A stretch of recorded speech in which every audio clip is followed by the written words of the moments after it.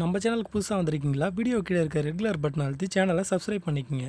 புது வீடியோ எதுவாக இருந்தாலும் நீங்கள் உடனே பார்க்க பக்கத்தால் இருக்க பெல் சிம்பிளையும் கிளிக் பண்ணிக்கோங்க.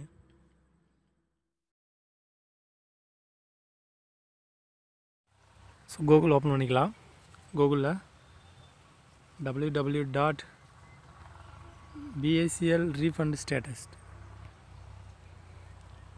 so இப்போ லேட்டஸ்ட் நியூஸ் வந்து அப்டேட் ஆகிருக்கு அதை பார்க்கலாம். பத்தொம்போது ஜூன் ரெண்டாயிரத்தி பதினெட்டுக்கு அப்டேட் பண்ணிருக்காங்க. ஸோ அது இங்கிலீஷ் கொடுக்கும். ஹிந்தியில் இருக்குது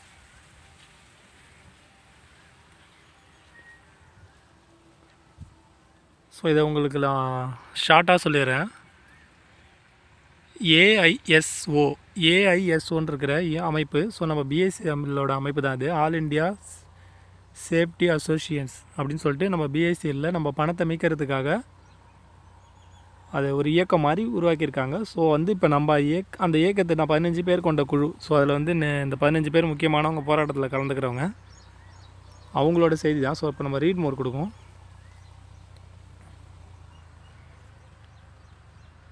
ஹிந்தியில் வருது. கொஞ்சம் இங்கிலீஷில் மாற டைம் எடுத்துக்கும் ஸோ இதில் ஃபஸ்ட்டு பேராக பார்த்தீங்கன்னா என்ன சொல்லியிருக்காங்கன்னா ரெண்டு பிப்ரவரி ரெண்டு ரெண்டாயிரத்தி பதினெண்டு பதினாறு சாரி அன்னைக்கு உச்சநீதிமன்றத்துக்கு முன்னாடி சிபி லோத்தா கமிட்டி என்ன சொல்லியிருக்காங்கன்னா அவங்க தரப்பில் இருபத்தி ஒம்போதாயிரத்தி எண்பத்தெட்டு ப்ராப்பர்ட்டிஸ் வந்து நாங்கள் கைப்பற்றியிருக்கோம் அப்படின்னு சொல்லி சொல்லியிருந்திருக்காங்க. ஆறு மாதத்தில் அமௌண்ட்டை ரிட்டர்ன் பண்ணணும் அப்படின்ற பட்சத்தில் ஸோ அமௌண்ட் வந்து ரிட்டர்ன் பண்ணலை. இப்போ ரெண்டரை வருஷம் ஆகியும் அவங்க அமௌண்ட் ரிட்டர்ன் பண்ணாமல் நிறையா பேர் வந்து கஷ்டப்பட்டுட்டு இருக்காங்க. ஸோ அதில் நிறையா பேர் இறந்தும் போயிட்டாங்க இல்லையா? இறந்தும் போயிட்டாங்க.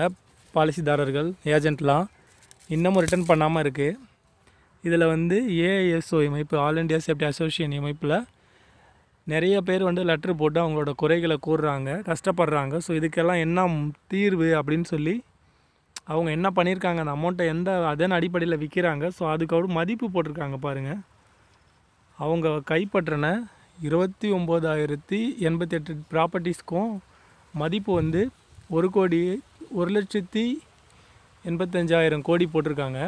மதிப்பு. ஸோ இந்த மதிப்புக்கு எப்போ விற்பாங்க என்ன பண்ணுவாங்கங்கிற ஒரு சில கொஸ்டின்ஸ் அவங்க சொல்லியிருக்காங்க முன்னிலையில். செகண்ட் பேரா பார்க்கலாம். செகண்ட் பேரா நியூஸ் பார்த்தீங்கன்னா இவங்க என்ன சொல்லியிருக்காங்கன்னா ஸோ இப்போ நம்ம வந்து ஸ்ட்ரென்த்தை காட்டல அப்படின்னா இதை ஷார்ட்டாக சொல்கிறேன் எப்பயுமே இந்த அடுத்த அஞ்சு வருஷத்துக்கு நம்மளோட பணத்தை கண்டிப்பாக வாங்க முடியாது. அதனால் ராய்ப்பூருங்கிற இடத்துல ஃபுல் ஸ்ட்ரென்த்தை நம்ம காட்டணும் நம்ம மேன் பவர் காட்டணும்னு சொல்லி பதினஞ்சு மெம்பர்ஸ் மீட்டிங்ஸ் அந்த முக்கியமான பதினஞ்சு மெம்பர்ஸ் மீட்டிங்ஸ் வைக்கிறாங்க. இருபத்தஞ்சாந்தேதி ஆறு ரெண்டாயிரத்தி பதினெட்டு அன்னைக்கு. ஸோ அன்னைக்கு எல்லோரும் வந்து கலந்துக்குங்க அப்படின்னு சொல்லியிருக்காங்க.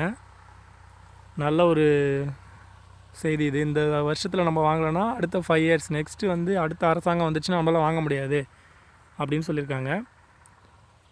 அடுத்ததை பார்க்கலாம். தேர்ட் பேராவில் என்ன கொடுத்துருக்காங்கன்னு பார்த்தீங்கன்னா which all responsibly will enters so இதை நான் ஸ்டார்ட்டாகவே சொல்லிகிட்டு இருக்கேன். நீங்கள் ஃபுல் டீட்டெயில் ஆனால் சொன்னால் ரொம்ப டைம் ஆகும். ஸோ நமக்கு மேட்ரு மட்டும் பேசிக்கலாம். ஸோ நீங்கள் வந்து வெப்சைட்டுக்குள்ளே போயிட்டு பொறுமையாக படித்து பார்த்துங்க. தேர்ட் பேராவில் என்ன கொடுத்துருக்காங்கன்னா கவர்மெண்ட்டில் எவ்வளையோ கம்பெனிங்க மில்லியன் கம்பெனி அந்த கம்பெனிங்கெல்லாம் வாங்கின கடனை கம்பெனி அடக்க மு- அடைக்க முடியாத கடன்களை கவர்மெண்ட் தானே அடைக்குது. ஸோ எங்களோட க பணத்தை வாங்கி சொத்துக்கள் வாங்கின கம்பெனி தானே. இதுக்கிட்ட இருக்கிற அமௌண்ட்டை ஏன் எங்களுக்கு திரும்ப கொடுக்க மாட்டேங்குதுன்னு சொல்லி கம்பெனியை கேள்வி கேட்டிருக்காங்க. ரொம்ப உண்மையான கேள்வி இது. எவ்வளோ கம்பெனிகள் வந்து முடியல அப்படின்னு சொல்லிட்டு இப்போ வந்து ரீசெண்டாக எல்ஐசியில் கூட முப்பதாயிரம் கோடி வந்து திவால் ஆச்சுன்னு சொல்லிட்டு